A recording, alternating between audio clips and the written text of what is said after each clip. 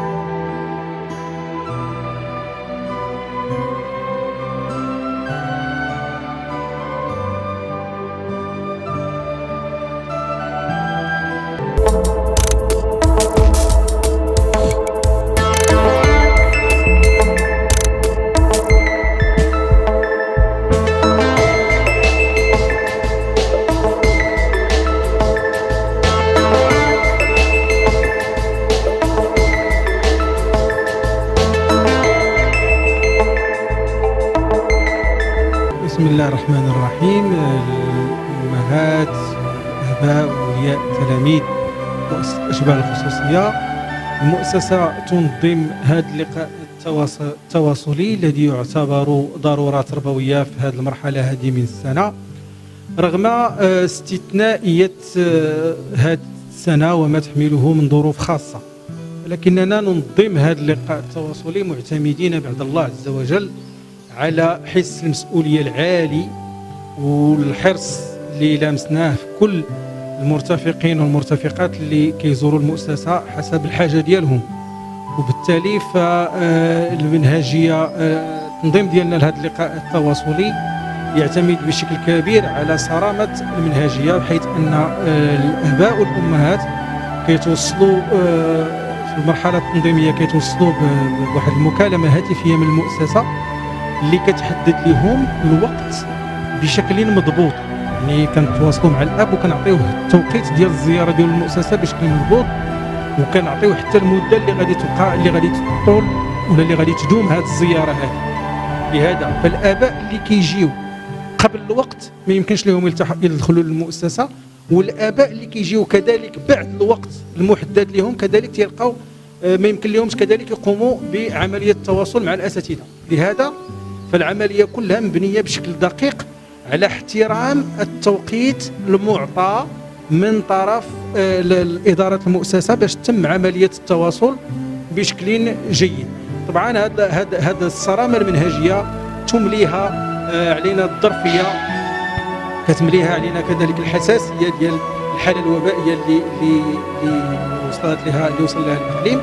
ولكن آه، بفضل الله عز وجل بفضل المجهودات ديال الطاقم الإداري وكذلك حسن التفهم ديال ديال الآباء واحترامهم الدقيق. أقول المواعيد اللي كتعطاهم بالدقيقة آه، أعتقد أن آه، العملية التنظيمية إن شاء الله تعالى تدوز في ظروف جيده ونوصلوا للهدف التواصلي اللي اللي كنتغياوه من خلاله أننا نحسنوا من المردوديه ديال التلاميذ داخل المؤسسه اذا هذا نداء ثاني. نبغيو الآباء والأمهات يقوموا معنا بالزياره التواصلية يحترموا معنا الضوابط بحكم أن خاص كل أب تحدد له مثلا آه، العشرة ونص يعني العشرة و30 دقيقة هي العشرة و30 دقيقة ماشي هي 35 ماشي هي 40 و30 دقيقة. وإن شاء الله تعالى غادي نستطيعوا نستطيعوا كاملين بعد تضافر الجهود ديال ديال الجميع الأمهات والآباء والأولياء والإداريين والأساتذة أننا ننجحوا هذا اللقاء التواصلي وكما قلت نوصلوا للأهداف المسطرة إن شاء الله تعالى والسلام عليكم.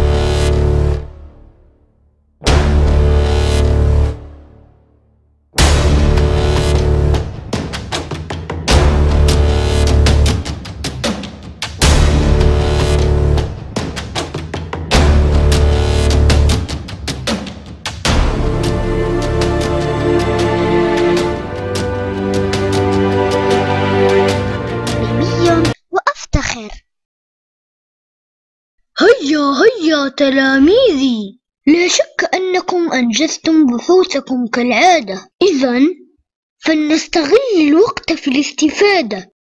اسمح لي يا أستاذ فبحثي ليس كالمعتاد.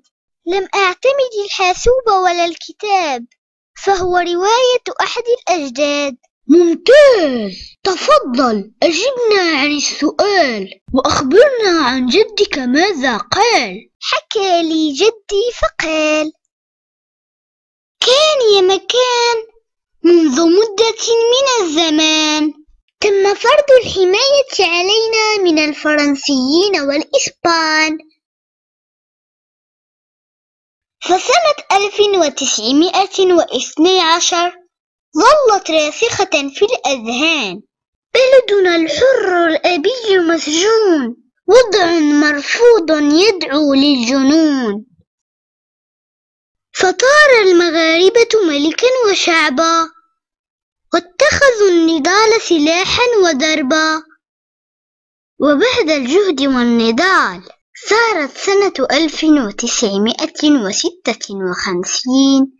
لا تغيب عن البال. أن تحملوا مشعل الأجداد وتناضلوا لإخراج المحتل من البلاد. فكونوا خير خلف لخير سلف. لقد أحسن جدك الشرح والتعبير ففي كلامه أجود تفسير وأنتم ماذا تحملون لهذا الوطن؟ قريبنا وطننا في فداء وثنية السوق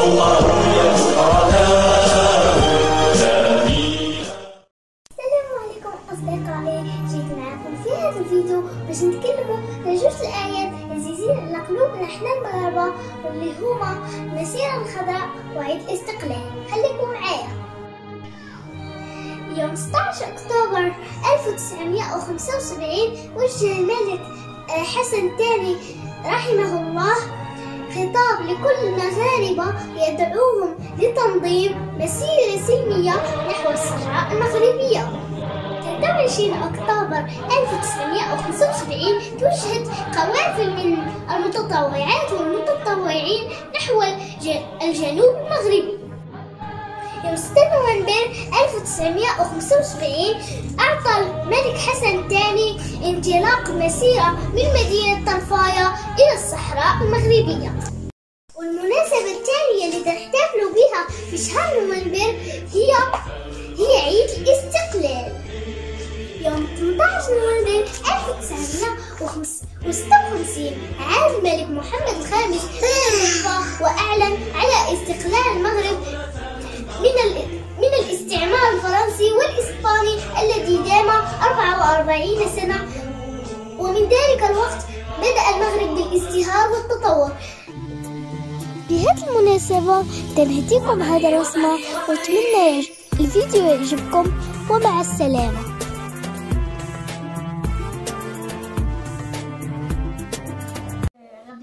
غادي نلون آه، الرايه المغربية. غادي اللي كت فيها اللي كتكون من آه، النجمة الخماسية الخضراء والعلم الأحمر. اذا أول حاجة غادي نبدأ باللون الأخضر. غادي نبدأ نلون الراية الخ- النجمة الخماسية. بسم الله. ما تشوفوا نقرب دابا نكمل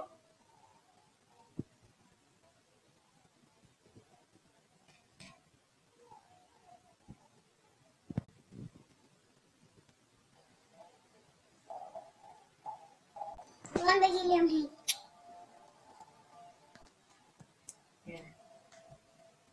أنا أعتز بانتمائي لوطن المغرب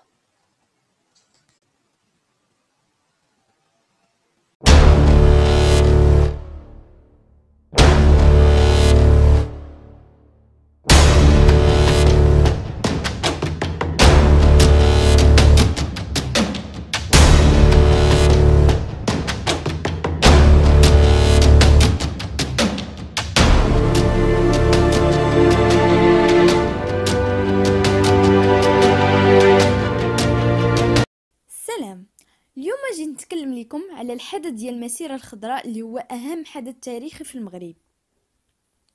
واللي حنايا يعني الجيل ديال دابا ما كيعرفش شنو هي المسيرة الخضراء أصلا. كيعرف غير ياخد عطلة وصافي داك النهار اللي كيعطيو لينا مدرسة وصافي.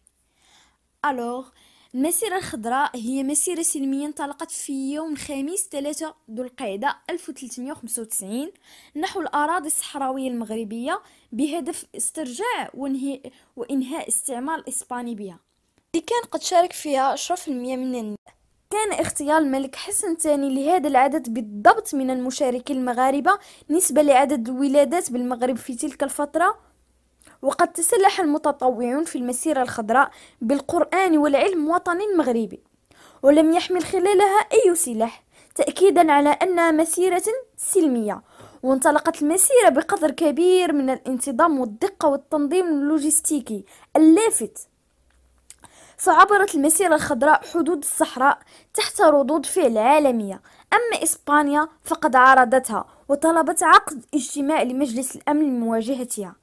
كما أعلنت من خلالها مندوبها في مجلس الأمن أن المسيرة الخضراء هي زفع عسكري مسلح ولذلك فقد حركت أسطولتها البحرية إلى المياه الإقليمية المغربية كما أعلنت أنها قامت بزرع الألغام على مناطق واسعة من الصحراء. وبعد نجاح المسيرة الخضراء على المستوى الشعبي والعالمي ودخول المتطوعون المغاربة إلى الأراضي الصحراوية المغربية اضطر الإسبان إلى العدول عن موقفهم المناوئ بالمغرب والبحث عن حل فبدأت اتصالاتهم بالمغرب ما دفع الملك الحسن الثاني إلى إصدار أمره بعودة المتطوعين في المسيرة إلى طرفي مؤقتا حتى يتم التوصل إلى حل سلمي للمشكلة.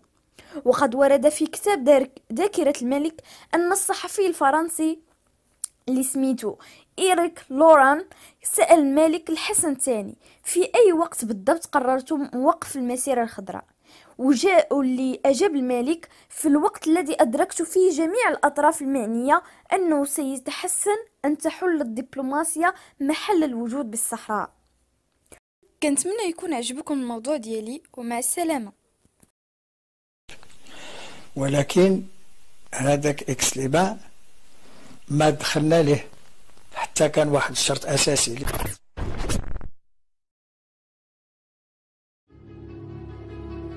سنة 1906 انعقد مؤتمر الجزيرة الخضراء للجمع في كل من ألمانيا فرنسا إنجلترا إيطاليا وإسبانيا واللي كامل كانوا باغيين يفرضوا الحماية على المغرب.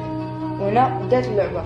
فرنسا تنازلت على مصر لصالح بريطانيا وتنازلت على ليبيا لطرف إيطاليا. وفي 1911 فرنسا قررت تنازل على الكونغو والكاميرون لفائدة ألمانيا. وتنازلت كذلك على شمال المغرب لفائدة إسبانيا. ومن ثم تمكنت فرنسا أنها تستولي على المغرب. وفي 30 مارس 1912 توقعت الموافقة على معاهدة الحماية على المغرب من طرف السلطان عبد الحفيظ وهنا فرنسا بدأت خدمتها. وفي 11 يناير 1944 كان تقديم وثيقة استقلال واللي لها الحركة الوطنية واللي كانت اقتراح ديال المغرب على فرنسا أنها تجمع حوايجها وتمشي بحالها. ومن ثم فرنسا ضاق عليها الأمر وما عجبتهاش دوك الحركات اللي كانوا في المغرب وطلبت من الملك أنه يعرضهم ويوقفهم. ولكن محمد الخامس وافق عليهم وخلاهم يكملوا خدمتهم. وتم في 1953 غزو إكس للمدغشقر وجابوا في بلاصتو بن عافية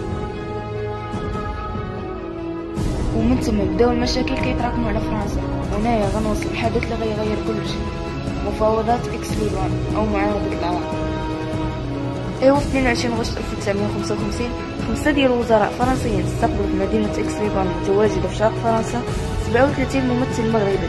باش يتفقوا على الشروط ديال كيفاش فرنسا غتطلق الحماية ديالها عن المغرب وشروط كان فيهم يرجعوا الملك محمد الخامس للعرش أساس أنه بعد إكس ليبان لا قبل ما يتجمع إكس ليبان لابد يطلعوا محمد الخامس في 6 نوفمبر كانت la déclaration de La Celle-Saint-Cloud اللي اجتمع فيها وزير الشؤون الخارجية ديال فرنسا والسلطان ديال المغرب وهو أول إعلان فين غيبان فيه شوية ديال التلميح على الاستقلال. ومن بعد ما رجع الملك لبلادو في فبراير 1956 وصلنا اتفاقية deux mars اللي عنات فيها فرنسا رسميا le gouvernement français confirme solennellement la reconnaissance de l'indépendance du Maroc فرنسا تؤكد رسميا استقلال المغرب. وهنا ما يمكنش المستعمرة تمشي هكا. ولكن اتفقوا على شروط منها أن فرنسا تطالب إسبانيا برفع استقلال على شمال المغرب وهنا مدك الترجمة كتبين المستقبل سبتة ومليلية وكان اتفاقية أخرى للمغرب أن يفتح لفرنسا الموارد اللي فوق تحت الأرض ويفتح لها المجال. أن تبيع سلعها عندنا للنهوض بالاقتصاد. ومن بعد.